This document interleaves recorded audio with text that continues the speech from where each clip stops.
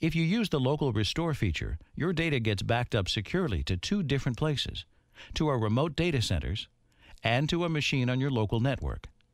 You can always restore any lost data from our remote data centers, but if you lose some data and a copy of it also exists on your local network, you can restore it locally at very high speeds.